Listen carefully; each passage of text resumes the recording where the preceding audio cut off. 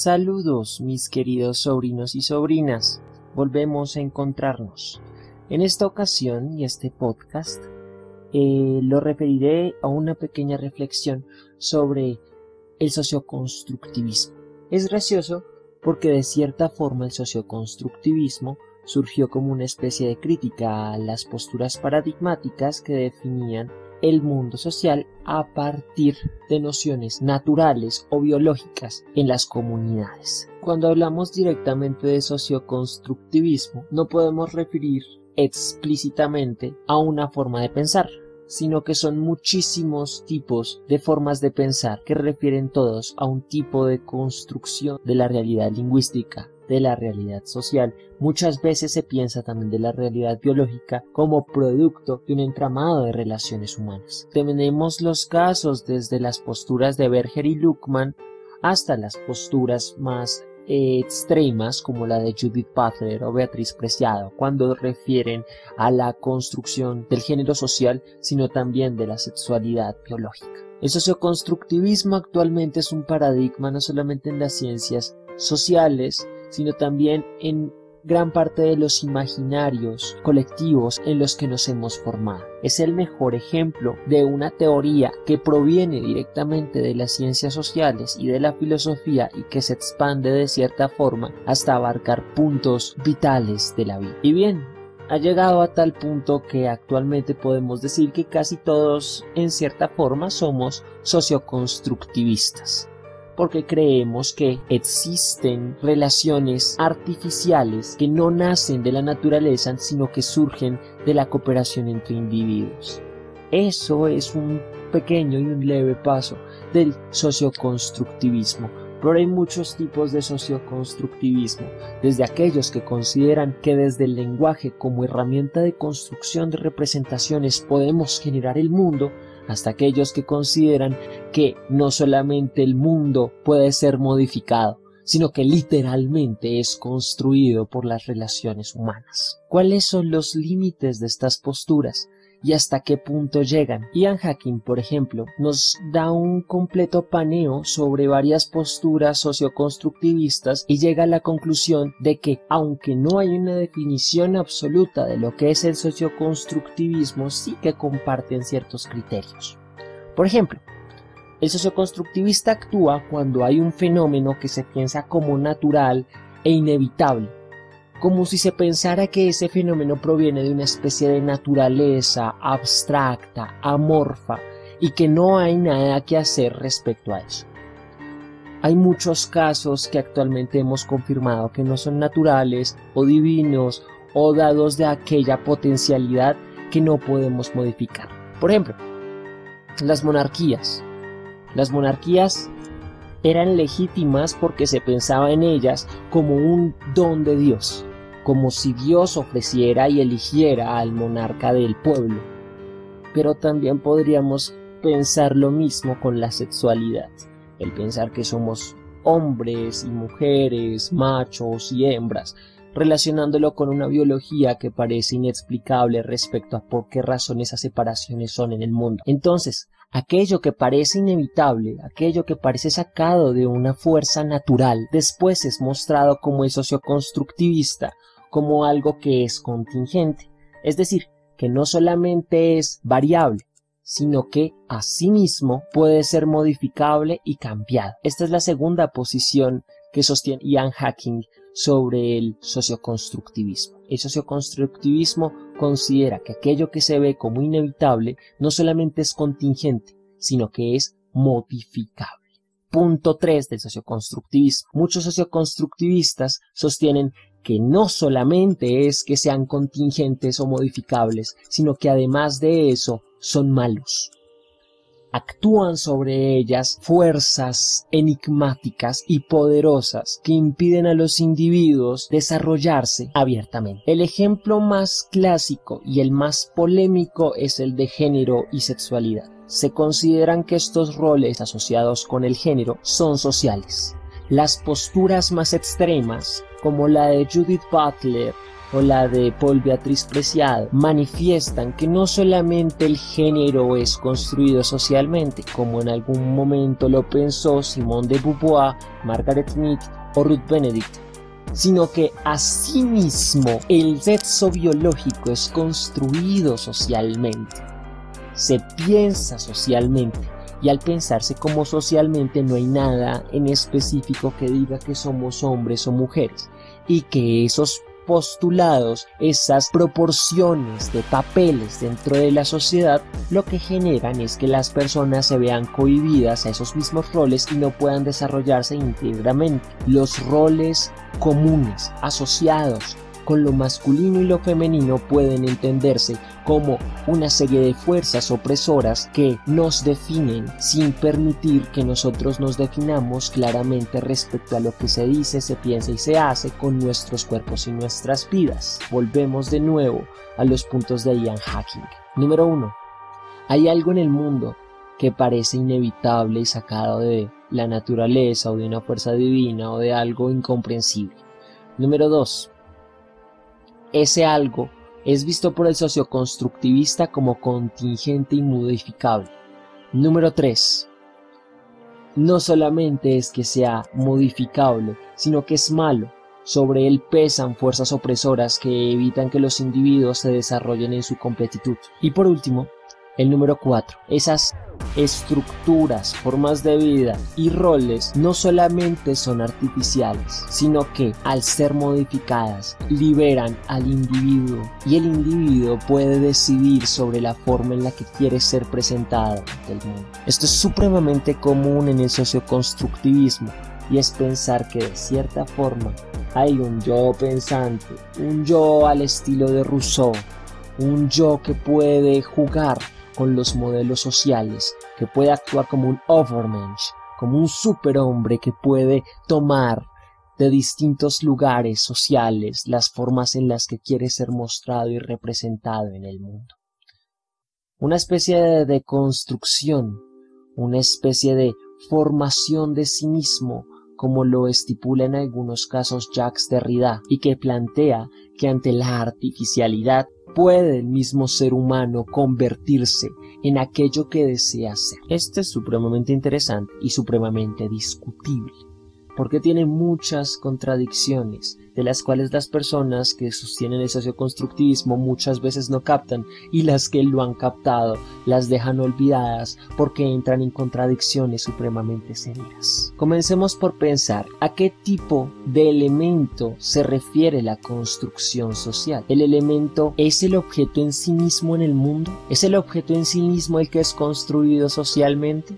O son las ideas que tenemos sobre los objetos los que parecen ser constituidos por nuestras relaciones sociales. No hay objetos en el mundo, eso es supremamente importante sacar de varias posturas socioconstructivistas. Las más extremas sostienen que la idea y el objeto son la misma cosa, es decir, que cuando en las sociedades se construyen los conceptos sobre el mundo, el mundo es construido junto con sus conceptos. Piensen lo siguiente, en 1897 Joseph John Thomson descubre el electrón para el socioconstructivista lingüístico, un lingüístico que es más idealista, algo como un socioconstructivismo cultural lingüístico idealista, el electrón no solamente fue descubierto por Thomson, cuando fue denominado como electrón, cuando se le dieron las categorías de partícula fundamental dentro de la física moderna, el electrón fue construido, diseñado, generado, creado si por alguna razón un científico no hubiera descubierto esa partícula, probablemente no sería electrón sino tendría cualquier otra connotación. Si un chamán hubiese visto un electrón, probablemente pensaría que es un espíritu eléctrico negativo, pero no una partícula fundamental de la física, lo que hace que el electrón no solamente sea una partícula en el mundo, sino que sea constituido socialmente, se piense, se construya y se genere a partir de las cosmovisiones que las personas de las comunidades que han observado ese tipo de elemento le den. Por tanto, el mundo es representación todo es representación. Y si todo es representación, no hay elementos reales en el mundo, sino formas en las que nosotros concebimos esos elementos. El mundo es algo etéreo, algo que no existe, algo que está pero no está, no es definido. Y nuestras proyecciones sociales sobre el mundo son las que les dan forma. Nunca descubrimos nada. Todo conocimiento lo construimos y lo generamos sería la posición más radical del socioconstructivismo y nos lleva a contradicciones supremamente serias. Porque si evidentemente todo es representación y no hay verdades absolutas, reales, tangibles o descubiertas por el ser humano, pues entonces el conocimiento mismo que está pensando y produciendo la noción de construcción social, asimismo es una representación. El problema con esto es que si toda representación es contingente, entonces el que yo piense que el mundo se conforma por representaciones sociales es también contingente. También puede cambiar, también puede ser algo distinto. en la contradicción que se denomina como la paradoja del mentiroso. Ese es el primer problema con el socioconstructivismo. Si todo es construido socialmente, luego el conocimiento que planteo también está construido socialmente, y el que yo piense que todo está construido socialmente es algo que también me ha impuesto la sociedad. Este es uno de los Berger y Kluckmann en algún momento eh, dijeron en su prólogo al libro de La construcción social de la realidad que esta paradoja podía tender a tumbar su teoría, no obstante que se la dejaban a los filósofos para que la observaran dado que ellos iban a postular la teoría, no a criticarla, que es algo supremamente prudente. El lío radica en que si no salimos de esta paradoja, no podemos entender a ciencia cierta cuál es el límite de las construcciones sociales. Todo puede ser construido socialmente. ¿Qué no es construido socialmente?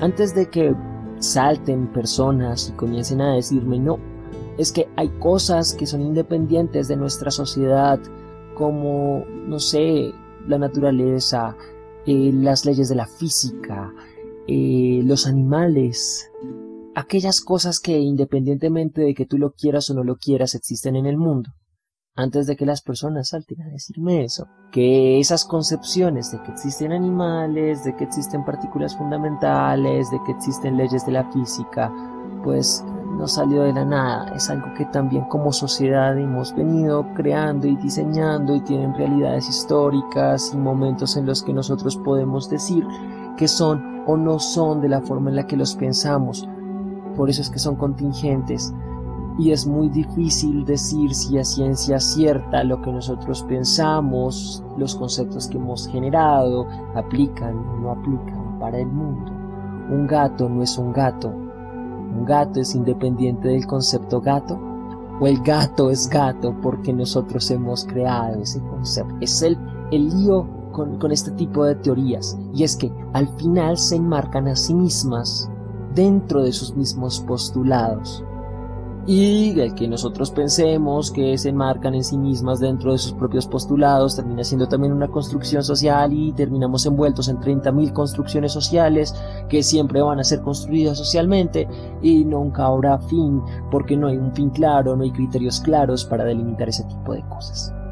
El segundo problema es que el socioconstructivismo tiende a ser relativista moral, es decir, tiende a creer que cada sociedad, que cada comunidad humana construye un código moral independientemente de los códigos morales que se generen en Occidente o en el grupo étnico dominante. Por tanto, deben ser respetados y entendidos desde sus lógicas culturales. El lío con esto es que pues tampoco habrían criterios claros para definir qué es lo malo o lo bueno dentro de nuestra sociedad. ¿Se acuerdan del modelo que nos presentaba ya en Hacking sobre el socioconstructivismo social? En el que se postula que primero algo debe ser pensado como inevitable o propio de una fuerza desconocida. Segundo, eso que es inevitable es pensado por el socioconstructivista como algo contingente. Y tercero, no solamente es contingente, sino que también es malo porque hay fuerzas opresivas, fuerzas patriarcales, fuerzas invisibles que ejercen sobre él un tipo de autoridad. Ese tercer punto tendría un problema con el relativismo moral que se postula desde el socioconstructivismo y es que si de cierta forma no hay criterios claros para decir que un código moral es superior a otro, entonces ¿por qué habrían criterios claros para decir que una construcción social es superior a otra? Que los pro vida tendrían tanto derecho a existir como los pro aborto y que ninguna de las dos tendencias es superior a la otra ni que de cierta forma es escogida una por ser mejor a la otra no hay criterios claros para pensar que la muerte, que el daño o que el dolor son parámetros para la conducta moral y terminaríamos en un nihilismo del cual no es ni siquiera posible pensarse. Un nihilismo completamente radical. El socioconstructivismo, si lo llevamos a su máxima expresión, nos va a llevar a la nada. Y es que hay que pensarlo muy bien. No estoy diciendo que sea una mala postura, de hecho como dije al principio de este video, todos somos socioconstructivistas en ciertos sentidos. La pobreza no es algo natural. Y si crees que la pobreza es construida socialmente, o si crees que hay algo que no es propio de la naturaleza, sino que está diseñado por relaciones humanas, entonces de cierta forma eres socioconstructivista. El lío radica en definir los límites de ese, socioconstructivismo y ese sí es un gallo. Para concluir y para finalizar, quisiera terminar con las frases de Clifford Geertz, donde refiere que nosotros somos animales suspendidos en redes de significado que nosotros hemos tejido. Y es que pensar o tejer redes de significado no es nada comparado con la forma en la que nosotros podemos pensarlas. El mañana no está amenazado por una fuerza oculta que es opresora, que es poderosa, que va a gobernarnos. El mañana está amenazado por el sinsentido de la nada, y el sinsentido de la nada solamente nos conduce a que nuestras redes, de aquellas que Clifford Geertz algún día habló, que esas mismas redes nos aten, suspendidos en el absoluto del profundo de nuestra oscuridad cultural.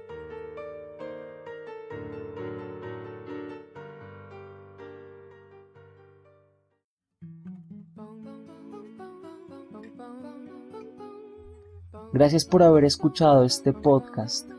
He estado un poco ocupado, no he podido hacer documentales ni videos realmente serios eh, porque estoy en, en mi trabajo de grado, estoy haciendo mi tesis. Por el momento voy a publicar eh, podcasts cortos o algún tipo de videíto que me parezca interesante. Eh, tengo un aviso parroquial.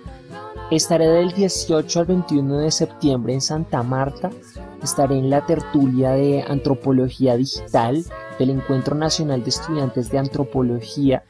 Eh, allá hablaremos un poco sobre los problemas que enfrenta la antropología ante la era digital y ante las nuevas tecnologías y de la forma como se resignifica y cómo se piensa en la labor del antropólogo, de la antropóloga eh, dentro de estos mundos y, dentro de estos eh, entornos virtuales. Entonces, los que estén en Santa Marta, los que vayan a ir, nos veremos allá nos tomaremos un cafecito o algo. Muchas gracias por todo, muchas gracias por haber escuchado esto y nos vemos en una próxima ocasión. Hasta luego.